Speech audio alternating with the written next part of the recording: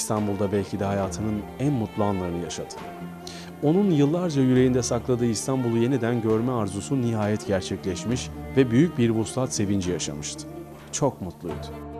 Nevruz Dede bir asırlık vatan hasreti sonrası yurduna ayak bastığı zaman ilk olarak eğilip toprağı öpmüş, artık ölsem de gam yemem demişti.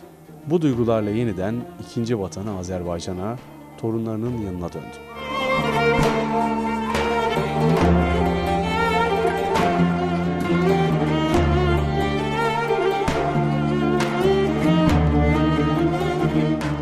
İstanbul ziyaretinden yaklaşık bir yıl sonra Nevruz dedenin vefat haberini aldık.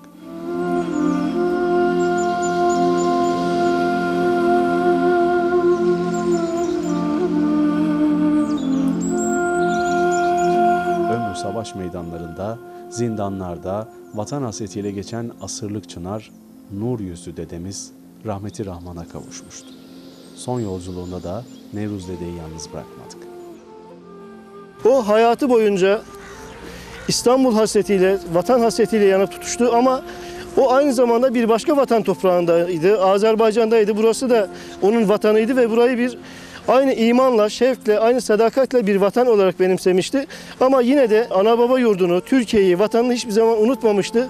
O hasretle yaşadı, o özlemle yaşadı ve ömrünün son deminde Türkiye'yi, İstanbul'u gördü ve huzurla son nefesini verdi. Ruhu şad olsun, makamı cennet olsun.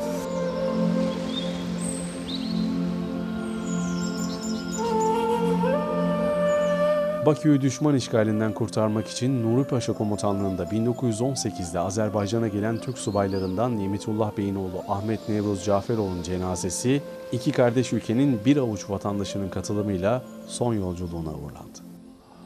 Vasiyeti üzerine Ahmet Nevruz dedenin cenaze namazını Şehitler Hıyabanı'ndaki Türk camisinde kıldık. Kafkas İslam ordularının aziz hatırası, asırlık çınar, yüreği bir ömür boyu vatan hasreti ve sevgisiyle çarpan Nevruz Dede'ye Allah'tan rahmet diliyoruz. Ruhu şad olsun.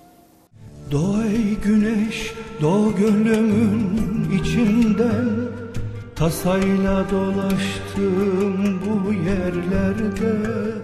Doğ ey güneş, doğ gönlümün içinden.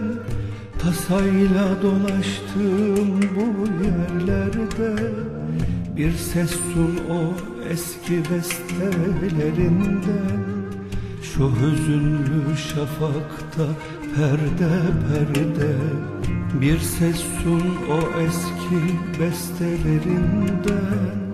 Şu hüzünlü şafakta perde perde. Gezer dururum yorgun ve ağrı Her halim garipli ve emare Düşüncem veda diyor bu yerlere Hüzünlü gurbet, gurbet, hüzünlü gurbet. Hüzünlü gurbet, gurbet, ah zalim gurbet. Hüzünlü gurbet, gurbet, hüzünlü gurbet.